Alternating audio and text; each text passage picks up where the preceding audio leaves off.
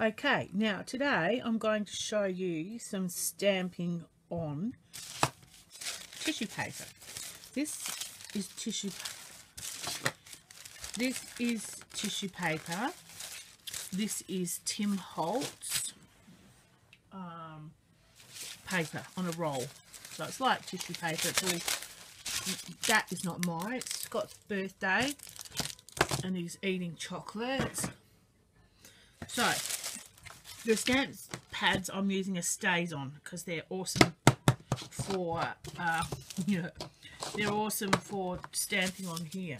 So as you can see I've got multitude I love the wooden stamps the old wooden stamps because I have a lot of problems with my arm since I had all my nose out with breast cancer and they're not as fickle as these things. These you got to pull them so I like the wooden stamps because you can get them down even so we can do oh, just as a background stamp I'll use these. So I'll just go along lightly. Just randomly doesn't matter whether it's upside down it doesn't matter whether all comes out whether bits come out whether it's it's just your preference there's no right there's no wrong in how you do it. Yes I always wipe my stamps on my t-shirt. I don't know why. I have paper towel here. Now this is what I'm saying. These are oh, that one's easy but they're they're just so hard to get off the plastic this is a Heidi Swapp and it comes as a whole but I've cut it in half because I can't handle the um, the whole sheet at once. So I'm just changing ink, just dab it up. That's right, just stamp all over my board, it's new too. I'd find easy just to run it along, stamp it up. If you want to just do the end bits, just do the end bits. Um, it's not that not that hard to do the end bits. Right, yep, that's least of my favourites. Oh. Okay, now maybe if I put that underneath, that might stay, or get my grip mat. This here, Scott bought me in, um, I think we call it shiploads here, or shiploads, shiploads, cheapest chips, whatever you want. So if I put that down and then there, we'll try that. That might keep me paper, but I don't think so. Don't okay, let's get into this. So we'll do some more. always take the stamp. Just place it around wherever you think that you might like it. Um, here's another background one. I'll tell them put this one. Oh, that's pretty.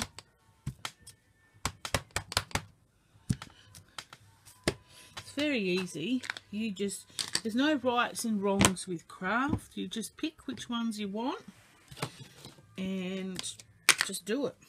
This little splotch. I love this little dude.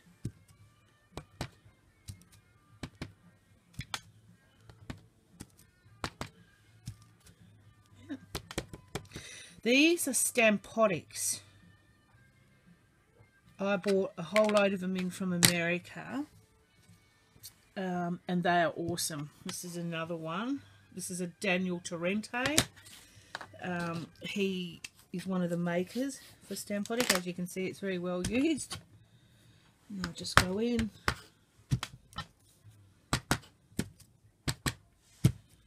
Okay, now, to me, I'll just give it a waffle with the be very careful because you can set it on fire. Been there and done that. Right, see that's all proof now. And there's your first piece of stamped tissue paper. So you can tear it, rip it. Um, It's just like this one I've made, which I've used on everything. They're all different colours. That was a more crunkled up tissue paper. But I just wanted to see what this um, Tim Holtz one's like. So what I can do now as well, if I wanted to do something, I could put that down straight over there and Mod, Mod Podge it on. So that would be the start of one of my journal cards. You can also fold it in half like that and use it in I haven't got one here to show you in one of your junk journals so say that was your junk journal page then you could sew into your journal, staple into your journal, use it as a page. Plastic. So you just put them on.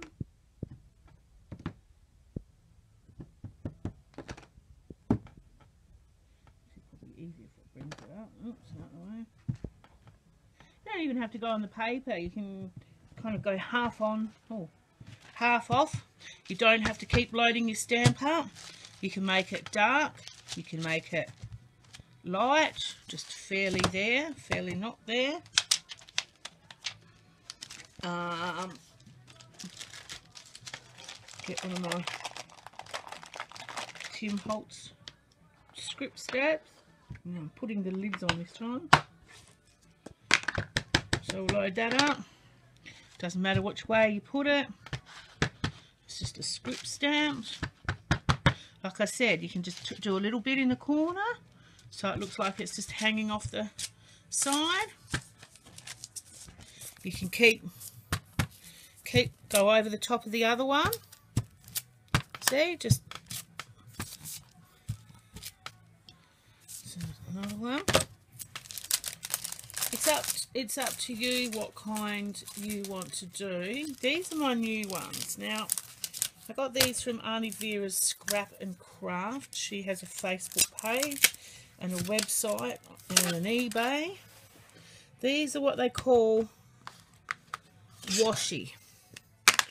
The washi tape stamps. I'll give this a burl. See. Oh. Oh, that's very fine, isn't it? Okay, so we've got to push down way.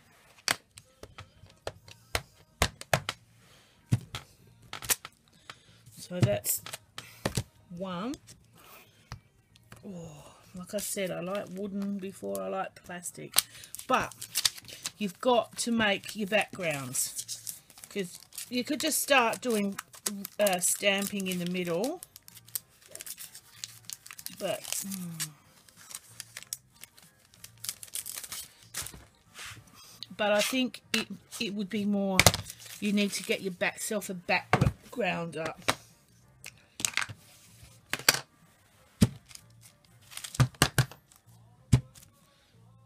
See now how it's coming together? It doesn't matter if you go over the top of the other ones. So now I might bring a bit of a green in here. How about we do some green cogs in the middle of the flowers?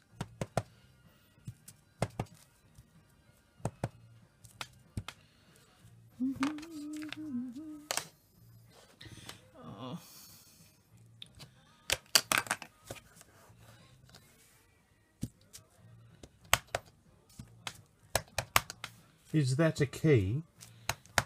Yeah, that's a key. Are you trying to be smart?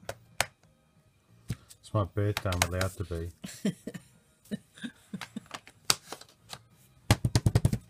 okay, there we have another piece. I'll give it a waffle, hang on, just to make sure.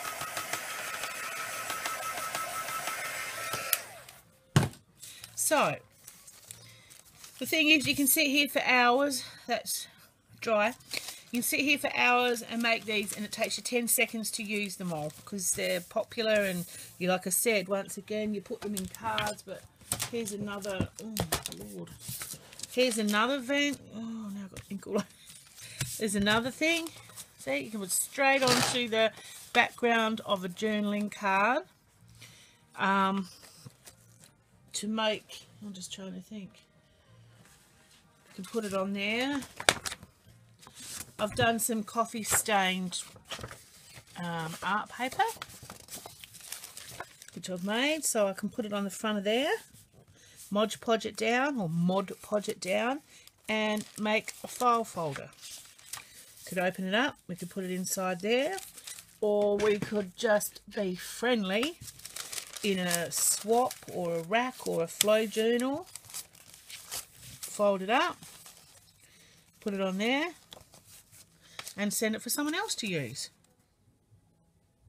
clip it in journal. So there's there's a hundred different ways to it.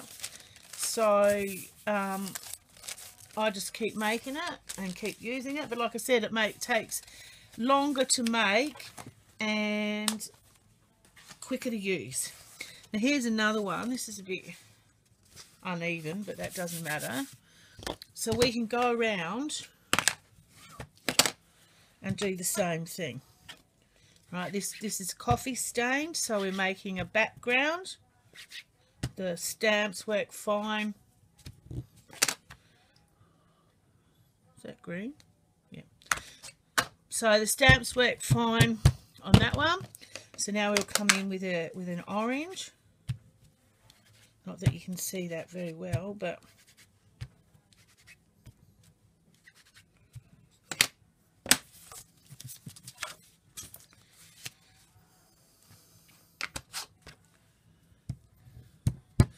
if we want a bit of script,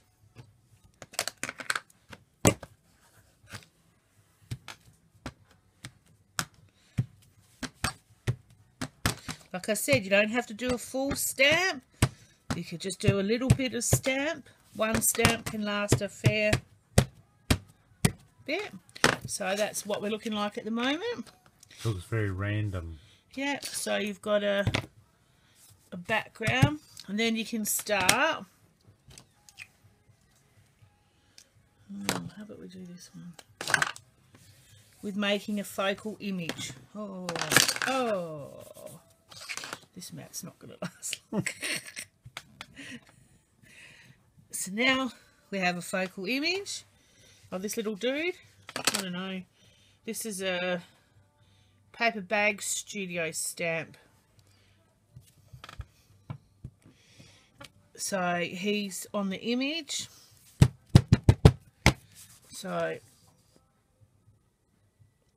now then what we can do to that is we can bring in another, if I can find, these are Dyan Reaveley.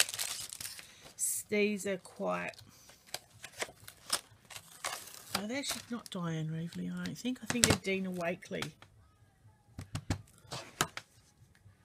These are Dina Wakley. So we can bring her in the focal image in the front.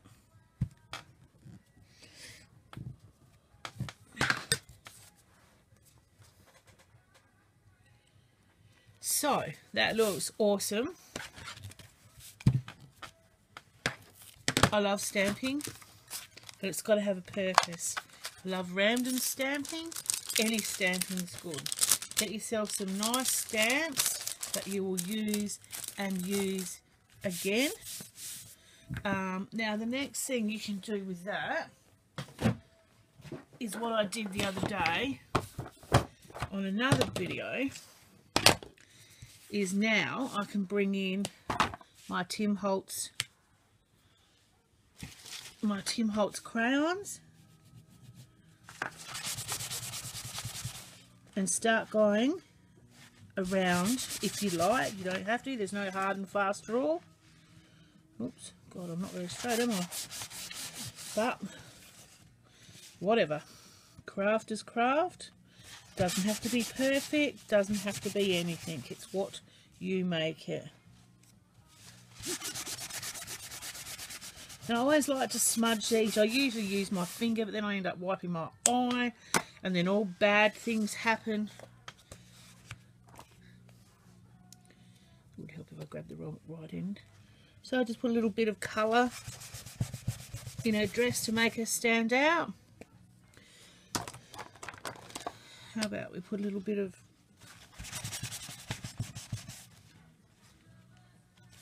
just a bit of colour in the boys or the angels.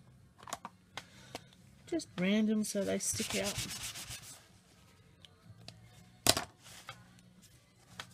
There. So that's what you can do with stamping and inking. Um, you can put words. I don't, even, I don't think I have any words. You can put words on there, or you could you could start this off as a journal cover. You can put the journal card inside, covered by your stamping paper cover it up, make a journal card. You could put them in there for somebody to write on. Of course, you'd have to trim it all up. Um, you could write in it. Write a letter to your pen pal in it. Write a letter to anybody in it. It's the same. It's stamped. It's inked. It's beautiful. Make a card out of it. Happy birthday. But that's it. I always just go over everything and give it a final wipe and give it a bit of a waz with the heat gun just to make sure that it's all dry so that when people pick it up they don't get it all over their fingers or up their arms but yeah so that's it so any questions just um, ask in the link below um, and I can do my best to answer them have a great day. Bye